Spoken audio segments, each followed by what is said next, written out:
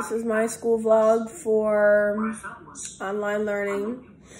Um, I know a couple people have been asking for it for like a while, but obviously we can't go back to regular school, so I can't film like my regular school day. Um, I'm a, now a junior in high school, so my schedule is pretty hectic. It is 8.06 and I'm in my first period, which is my AVID class. So enjoy this video. There is actually only one point in the entire cosmos. What does this have to do with anything? All constellations of stars. And that presence is I thought this was about self-care. Planet Earth. Why are we talking about the clusters of stars? The stars. From this point of view, in the solar system. Their stories only I'm so confused. And only something to us, to people. We are creatures of. It is only 8 o'clock, and I have a headache already. Consider briefly the story of Wish civilization. So it is second period. It is 8.45. I have computer science, and I'm supposed to be taking a test and I don't know any of this at all. But like it's like a pre-assessment, so like it won't count towards our grade as, at all, so which is good for me. Um yeah, I'll check in with you guys next period. Hello. It is 9:45. Third period, choir. Um going over our test that I got 100% on. And um, I don't know. So that's all we're doing. We haven't done anything. So I like for the last period I left like a bunch of answers blank for the for the quiz. Uh, and yeah, I guessed at everything. I'll check in with you guys next period. Bye.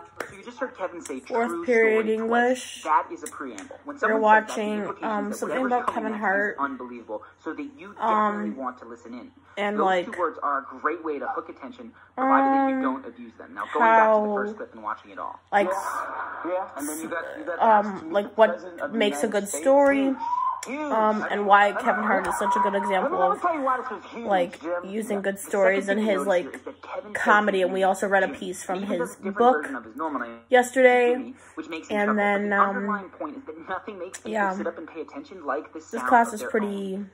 Now I'm sure you've been in a conversation and heard your name from across fun, I guess. But immediately you had your it's attention like sucked in not boring or anything. Saying people's names basically anyways because what's coming next yeah. is relevant to them that makes it a great way to get people's attention at the beginning of a story or even while you're already telling it if you see that they start to drift out another great way is to let people so know. i am at lunch and uh, i'm talking to my friend bonnie bonnie say hi hi um i don't know what i'm if i'm i don't know if i'm gonna eat anything at all for lunch um, I'm literally switching back and forth from like the kitchen to like the bedroom. And like, um, I don't know. I can never get comfortable anywhere like with this online learning. And next period, I have to like sit at a desk because I, I think I might have to turn my camera on, which sucks.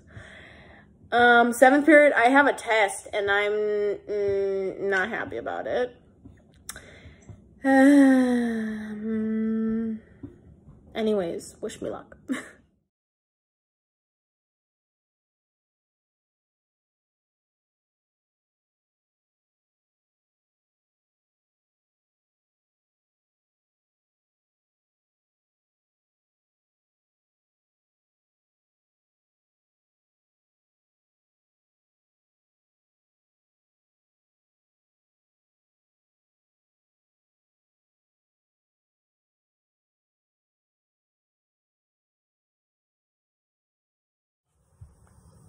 Oh, good. There's only six of you that haven't done it. Okay.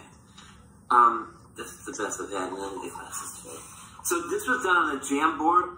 All you had to do was um, submit a blank assignment. But I need a place in I'm so done with the classroom where I can put down the reports, like the scores from the Jamboard. So um, there's just six of you right now um, that need to get that done. So um, that would be helpful so I could Clearly, I'm very boring. maybe mark those later today. Me too. Um, so that's easy to do right away.